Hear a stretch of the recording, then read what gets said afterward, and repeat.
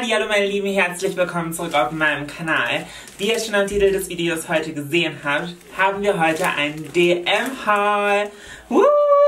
Ich war vor ein, zwei Tagen mit meinem Schatzi bei DM und wir haben zusammen uns so ein bisschen durchgebummelt. Und ja, heute wollte ich euch in diesem Video meine Einkäufe zeigen. Ich habe heute irgendwie mega Bock auf dieses Video, richtig, richtig toll.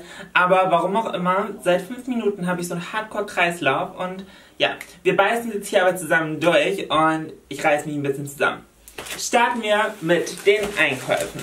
Als allererstes habe ich hier Wattepads von Evelyn. Das ist die 140er Packung und ja, Wattepads benutze ich eigentlich ganz oft zum Abschminken und die hier sind einfach ein absolutes Must-Have.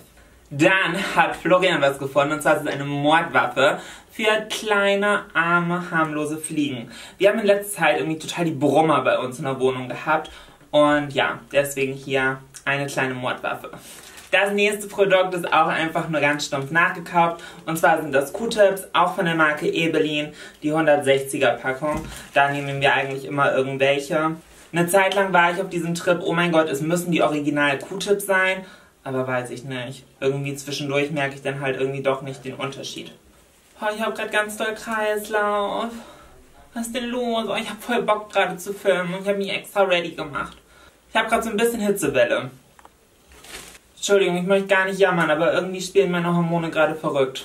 Dann habe ich hier ein paar Produkte für den Urlaub gekauft, weil Florian und ich in ein, zwei Wochen in den Urlaub fahren und wir uns deswegen hier schon mal ausgerüstet haben. Und zwar ist es von DM von der Sundance Marke, das Aloe Vera After Sun Gel. Das hier ist halt beruhigend für die Haut, nachdem man den ganzen Tag in der Sonne war und so ein Aloe Vera Gel ist halt super, super gut, weil es die Haut mit Feuchtigkeit versorgt und dann halt die Bräune auch im Endeffekt viel, viel länger hält. Das nächste Produkt ist auch von Sundance und zwar ist das ein transparentes Sonnenspray.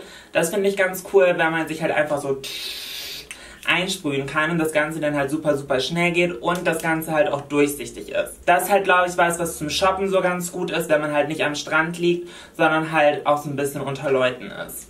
Aber für den Strand haben wir uns dann noch so ein richtiges Sonnenspray geholt. Ich weiß, um ehrlich zu sein, nicht, wo krass der Unterschied ist, aber das hier soll halt nicht transparent sein. Das hier wird dann halt unser Strand-Sonnenspray. Ich habe mir diesen Sommer vorgenommen, mal Selbstbräuner auszuprobieren. Und ich habe in letzter Zeit total viele Leute vom Alverde Selbstbräuner reden hören. Und ja, ich bin so ein bisschen skeptisch, weil ich hier relativ trockene Haut habe und die halt oft fleckig wird bei Selbstbräunen. Nee. Tut mir leid, ich muss das Ganze ganz kurz hier abbrechen. Äh, ich mache in einer Stunde weiter. Sorry, mir geht's gerade gar nicht gut. So, hier bin ich wieder, knapp zwei Stunden später. Ich wollte mich eigentlich nur ganz kurz ins Bett legen, um so ein bisschen klar zu kommen. Ja, bin dann wieder eingenickt. Wir machen jetzt aber ganz stumpf weiter. Ich habe eben überlegt, ob ich nochmal von vorne anfange, aber nö, ich glaube, bisher war es safe. Wir machen jetzt einfach weiter und ich zeige euch die nächsten Produkte. Die nächsten drei Produkte gehören alle so ein bisschen zusammen und sind jetzt auch wahrscheinlich nicht die ästhetischsten, aber sie gehören dazu für ein ästhetisches Körperbild, keine Ahnung. Und zwar sind das alles Produkte für Horthautentfernung an den Füßen. Ja, das Ding ist halt irgendwie bei DM Holz erwarten immer alles Lipgloss, Mascara, ein bisschen Puder. Ja, aber bei DM kauft man halt auch manchmal Sachen fürs Real Life. Und ja, Hornhautentferner, Hornhautraspel und Bimsschwamm. Und auch noch was für die Füße, aber vielleicht nicht ganz so strange, ist noch ein totes Meer Fußbad für strapazierte Füße. Und ja, das fand ich da auch ganz interessant aus. Dann habe ich noch ein neues Duschgel mitgenommen. Das hatten wir schon mal mit Melone. Und zwar Wassermelone, weil Wassermelone ist für mich Melone. Ich feiere die Duschgels von Balea richtig, richtig doll und mag das hier auch total gerne. Und auch der Geruch, Leute. Ich glaube, das ist das dritte oder vierte Mal, dass ich das jetzt gekauft habe und ich liebe diese Sorte. Dann haben wir noch zwei Produkte für Florian. Einmal ein neues Deo von Axe Black Knight. Ähm, das fand ich roch ganz gut. Ja, das mag ich echt gerne. Oh ja, I like. Und dann noch ein Duschgel von Axe. Und zwar das Urban mit Charcoal and Clean Body Wash. Ich fand das roch halt einfach auch so ein bisschen frisch, aber halt auch irgendwie so ein bisschen würzig. Keine Ahnung, finde ich ganz schwer zu beschreiben, aber irgendwie total interessanter Duft. Und ja, das haben wir auch einmal mitgenommen. Oh, ich sehe gerade, ich habe vorhin in meinem Kreislauf Breakdown noch ein Sundance-Produkt vergessen. Und zwar ist es hier das Sonnenöl. Und zwar in Lichtschutzfaktor 6. 6 ist definitiv viel zu niedrig. Aber was ich halt ganz gut finde, ist, wenn man halt sich erst schon eingecremt hat, dann zwischendurch halt nochmal mit einem leichteren Schutz drüber zu sprühen. Außerdem finde ich super, dass bei einem Sonnenöl trotzdem noch Lichtschutzfaktor drin ist, damit man halt sich's nicht so komplett übertreibt. Mit Sonnenöl muss man halt aufpassen, dass man sich nicht verbrennt und deswegen finde ich es gut, dass hier wenigstens noch ein kleiner Schutz zusätzlich mit bei ist. Dann habe ich mir noch was total Cooles gekauft, weil ich jetzt diese Woche auf dem Webvideopreis bin. Ein kleines Haarspray, weil zwischendurch passiert mir das halt total oft, wenn ich auf Events bin und halt auch irgendwie meine Haare mache oder so, dass die erst total gut sitzen und im Laufe des Abends oder im Laufe des Tages, keine Ahnung, immer schlechter werden. Und dann habe ich halt nie Haarspray dabei, weil die Haarsprayflaschen halt immer zu groß sind, um sie in die Tasche zu stecken. Deswegen habe ich mir das Tough Haarspray einmal in klein gekauft. Das ist super, das hat halt total guten Halt. Das haben wir auch immer in groß da und deswegen habe ich halt das selber einmal noch in klein gekauft, weil man sich hier drauf echt verlassen kann. Es hält nicht für immer, aber es hält echt gut. Und ja, das hier mag ich echt sehr, sehr gerne. Machen wir weiter mit ein bisschen Make-up und da kann ich gar nicht so viel zeigen, aber ihr werdet das in den kommenden Tagen sehen, weil ich extrem, extrem viele Produkte von Essence gekauft habe für ein komplett One-Brand Make-up-Tutorial. Ich werde nämlich einen kompletten Make-up-Tutorial nur mit den Produkten von Essence schminken.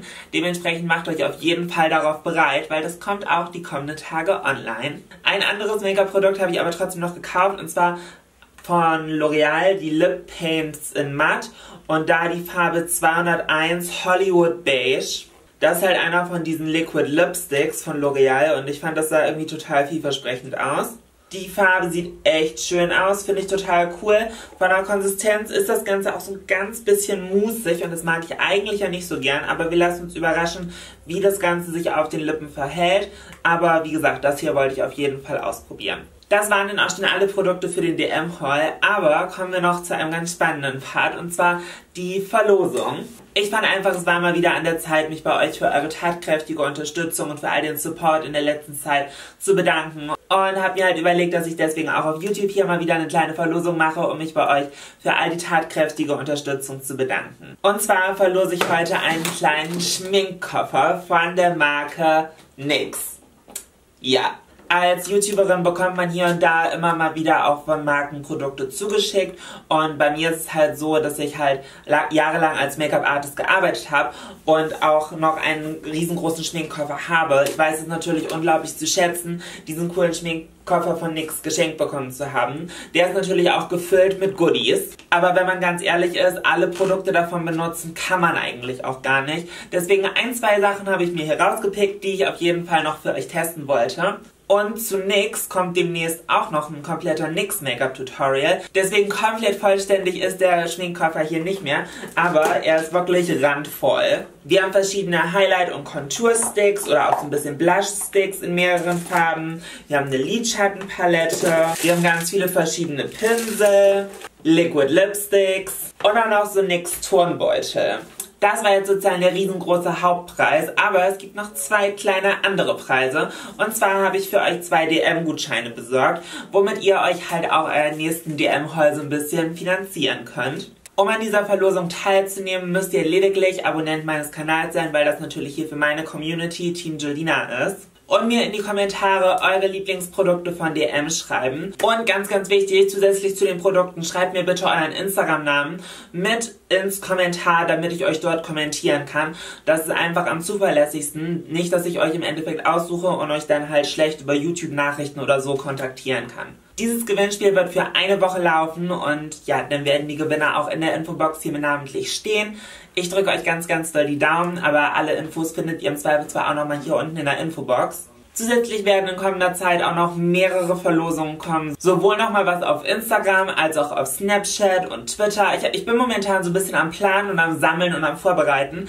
Aber ich habe gedacht, dieses Gewinnspiel für YouTube ist erstmal ein ganz geiler Start. Ich hoffe einfach, dass ihr euch über die ganze Aktion freut und ja, wie gesagt, dass ich so ein bisschen an euch damit zurückgeben kann. Ich hoffe unglaublich, dass euch dieses Video heute gefallen hat, trotz des kleinen Breakdowns, den ich erst hatte. Aber ja, eigentlich geht's mir jetzt auch schon wieder ein bisschen besser. Ich bin jetzt auch endlich fertig mit meinem Gesabbel für heute. Fühlt euch auf jeden Fall ganz doll gedrückt, fühlt euch geknutscht und bis wir uns das nächste Mal sehen. Habt einen schönen Tag.